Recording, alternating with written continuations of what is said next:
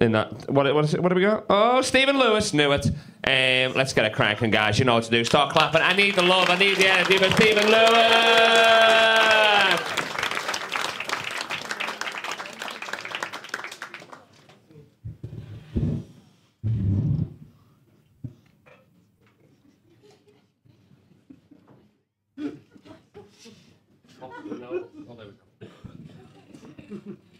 Where are we all doing? Pretty good.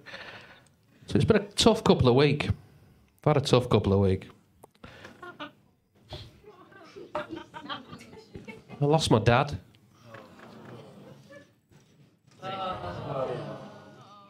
In Matalan. Not good. It wasn't good. Dog got ran over.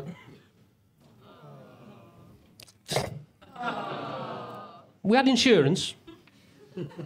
Third party fire and theft, so we just set fire to the dog.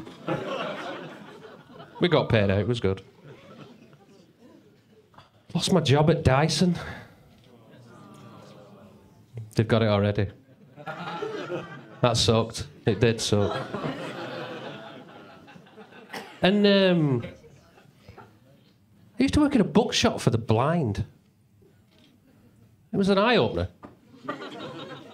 Wasn't feeling it. Left.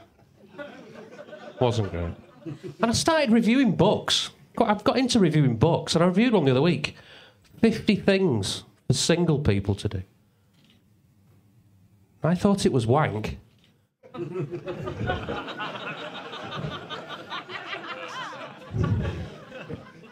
um, yeah, and there was another one I reviewed as well. The best way to a woman's heart. Apparently, it's through the rib cage.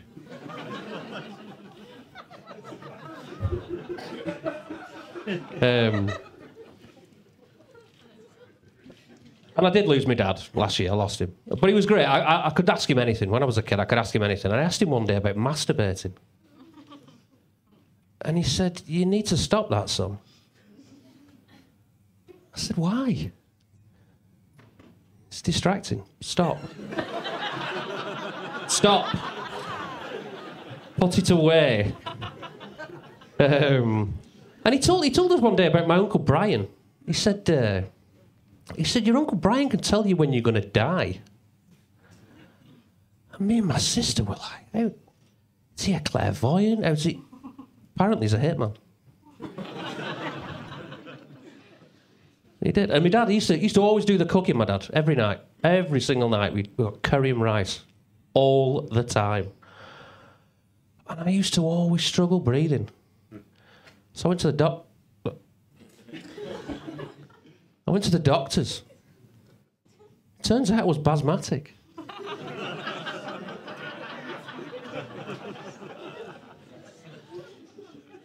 yeah. I've just got back. Just got back from Japan. I was in work. I was in Japan for work, and uh, I had a translator.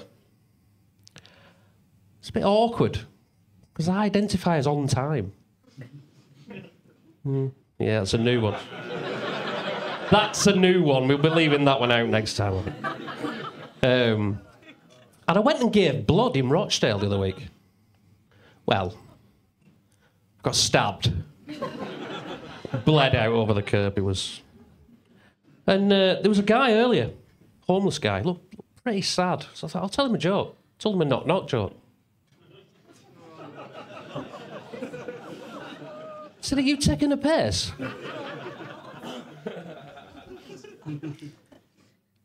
and uh, this um, fella died the other week near me, drinking his morning coffee. Drinking his coffee in the morning. His missus said it's fine, it was instant. Fine. It's fine. It's fine. It's fine.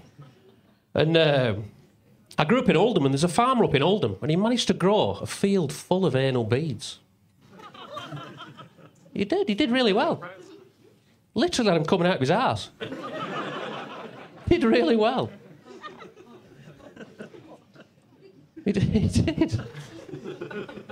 Farmer next door, he managed to grow a field full of dildos. Biggest problem he had was squatters. Right, thanks for listening. Cheers.